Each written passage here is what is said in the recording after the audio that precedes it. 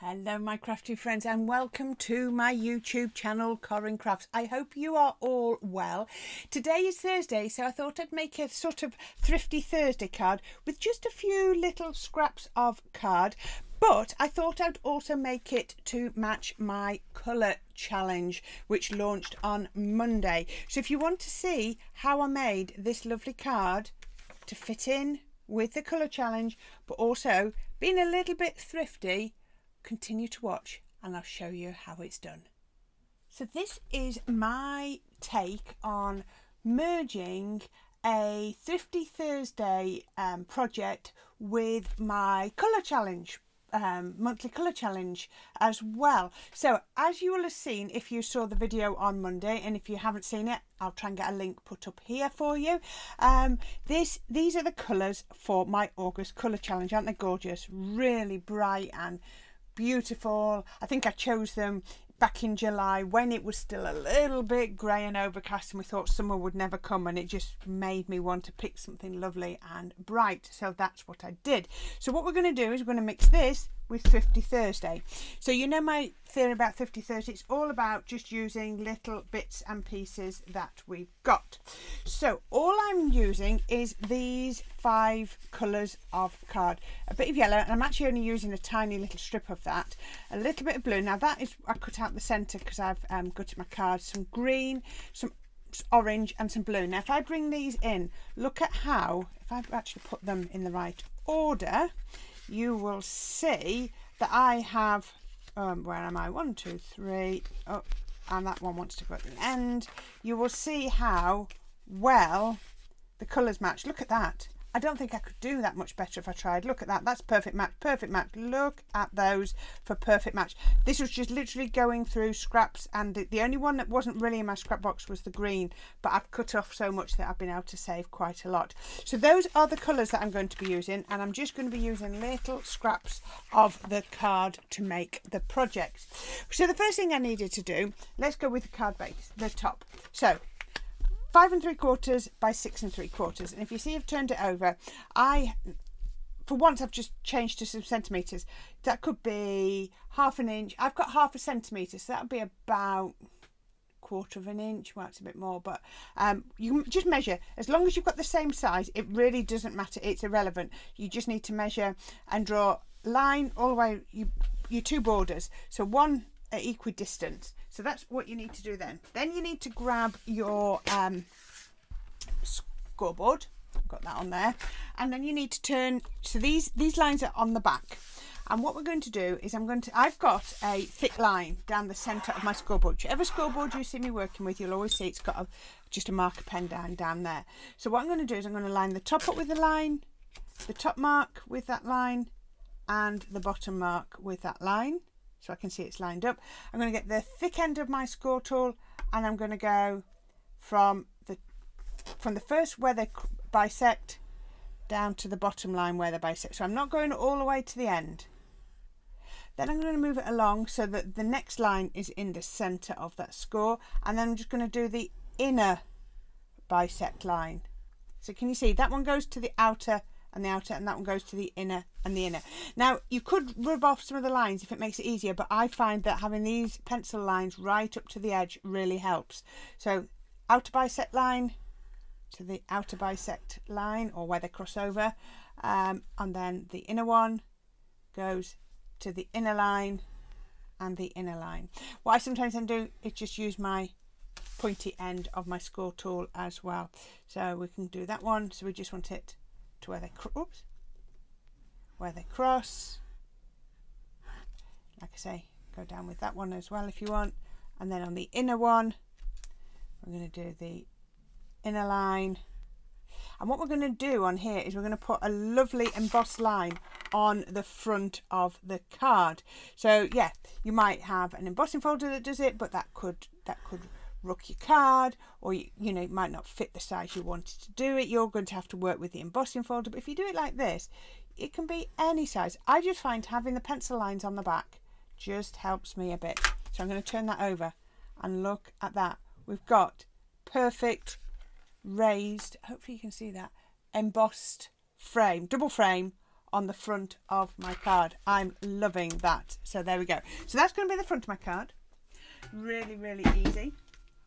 And that is going to sit, that's going to sit onto some green. So all I did was I used my paper trimmer and I cut out three uh, three quarters of an inch square out of there so I don't know where that piece has gone. Well, I've been cutting into it, I think. So I've been cutting into it, so it's it's partly used now. So I've got three quarters, so and it border three quarters inch. So I've put it onto some white, so it's strong. And then the same on the blue. I've just cut in three quarters of an inch. So that means I've got lots of that to use. Like I say, it's Thrifty Thursday. We're being as efficient as we always. Top folding card because that's what I like to do and then I've just put a little bit of my Stix2 my two millimeter tape on the back of there so I'm just pulling the backs off there. As I always do, always just put a little bit of a wet glue, whatever is your favourite wet glue um, that you like. It could be a, a glue stick, it could be a wet glue like this, it's entirely up to you. All this does is it gives you a little bit of wiggle room. So that's going to go on to there. I just like to sometimes add a little bit of fat. Now look at that, that's wonky. Now if I hadn't put that glue on, that um, foam tape would have stuck and I wouldn't be able to amend it. So we can just, just adjust it very slightly. Come on. I think I must be looking at it from an angle. Could it keep going slightly wrong? There we go. That'll be perfect. There we are. Right, that's one. And then I'm going to pop this one on to there like that. So look at that. So all those pen marks that you did on the back are not going to be visible. So I'm going to make sure most of my glue is around the back, around the edge, because it's got a little bit of a divot there. But it's fine. And then I'm going to glue that on to there, just like that. There we go. And then all you need to do, if I can reach it, is I'm just going to get stamp block. Going to put that on, put my glue on or something heavy and I'm going to push that out of the way so you can just see it sitting at the top. So now I need to do a design for the front with all those beautiful colours. So I've already used two of the colours. I've used the green and the blue. So, gosh, these are old, aren't they? Fleurs dies. I've got lots of Fleurs dies left over, so I thought I would use these. Any outline floral dies, I know everyone does them. I love Chloe's Crafts ones, Julie Hickey does them. Um, who else does them? Crafters do them, or everybody does them. Um, you'll be able to find just outline dies, and then that's just um, a, well, a melded um, leaf die as well. So what I have done out of the colours so we're going to use all of the colours now. Out of the blue and the um, two blues I've cut that size flower. And out of the two yellows I've cut that size flower.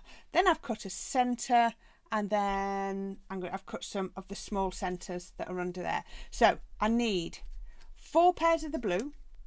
No don't I need two pairs of the blue four pairs of the yellow. Get it the right way. So I'm going to put the yellow onto there. So that means I need four small blue ones of those and two large ones of the yellow.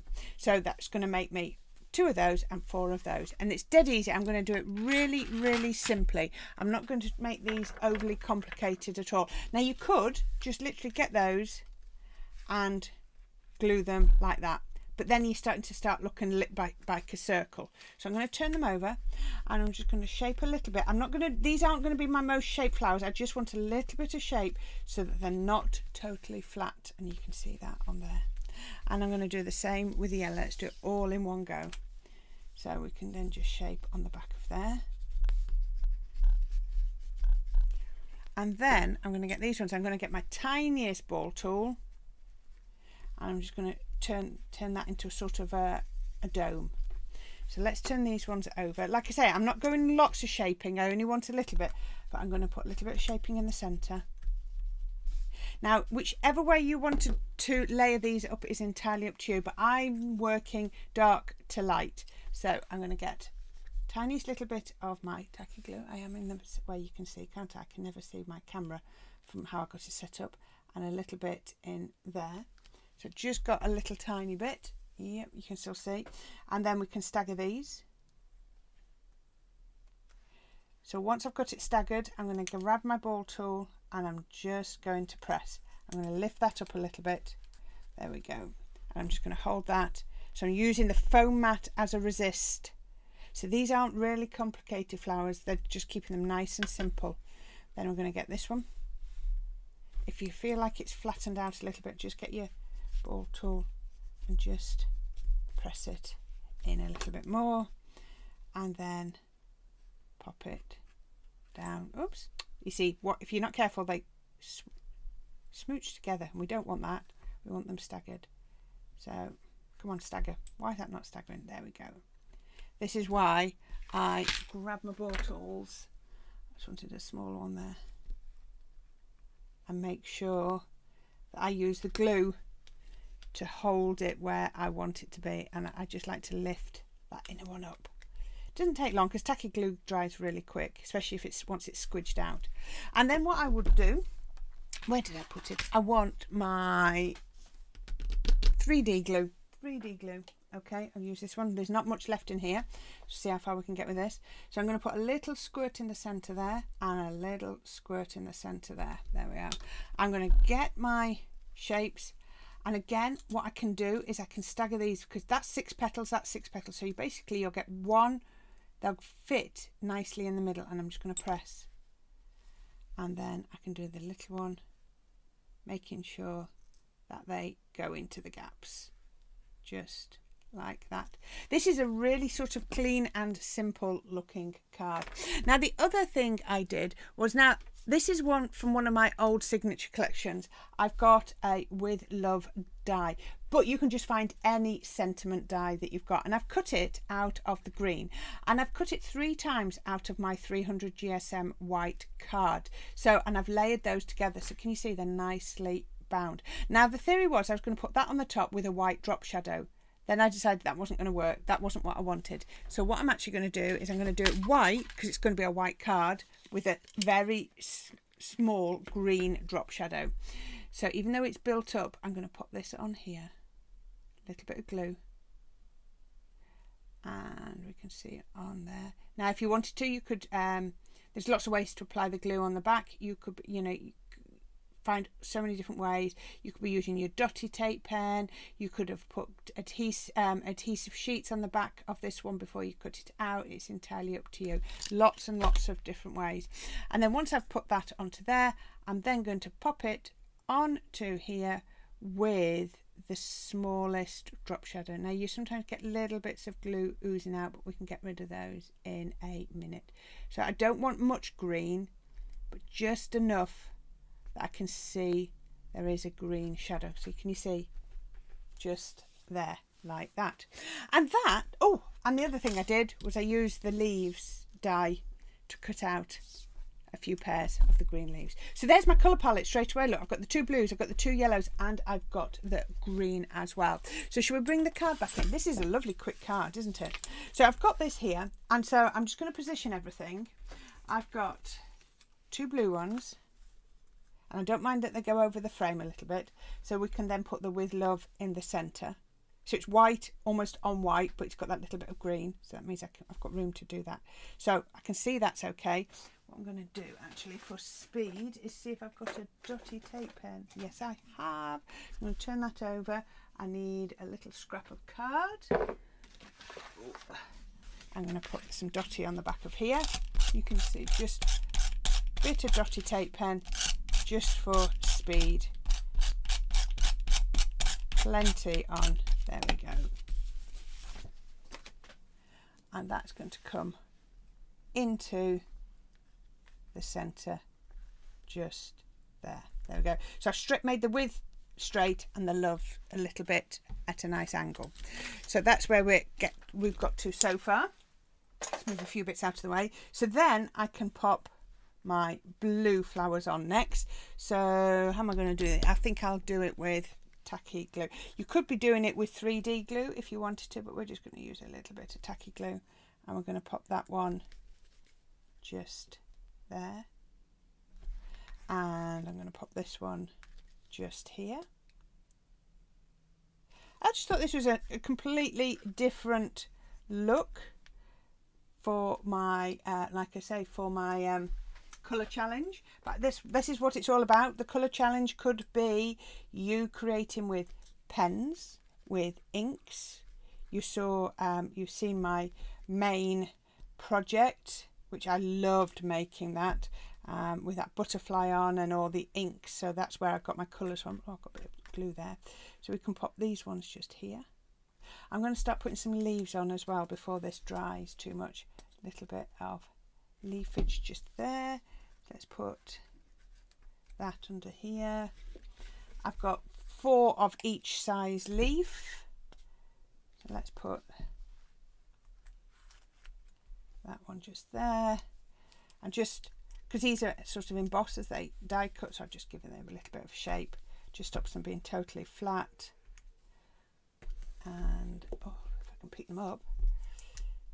And it also adds to the shape. So I've almost created a, like a little bit of a swag, I think is how you'd probably describe it. Just making sure those are centered. None of that is sticking down. Right, let's just come in and grab that. See, that's not stuck down, not pressed hard enough. Let's get that one under there.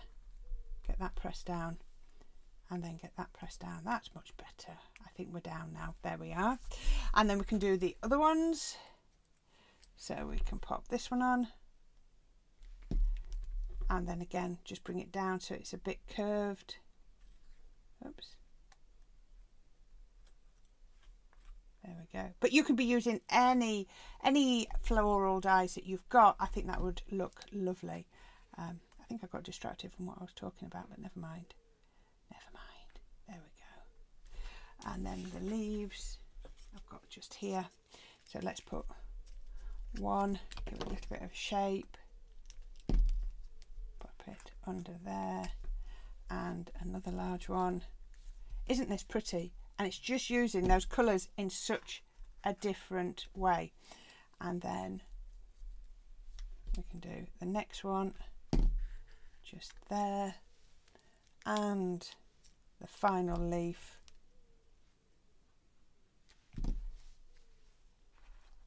there I need to bring that leaf round there there we go.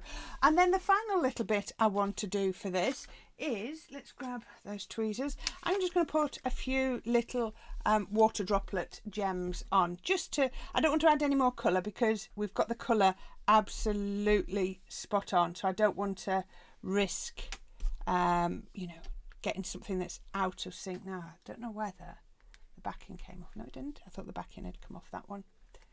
There. And let's just go I love little water droplet um, gems. You can make them just with hot glue. You could be just putting some hot glue drops on there. There we go. How about that? So that is project number two um, so it's Thrifty Thursday because we're only using small little bits of card. I've gutted the centre of my card to use that and then I just use a few little bits of the yellow as well. Um, but it's also meeting my colour challenge that was only launched three days ago. So yes, so there we go. And that, as I said, is the second one. And here is the first one.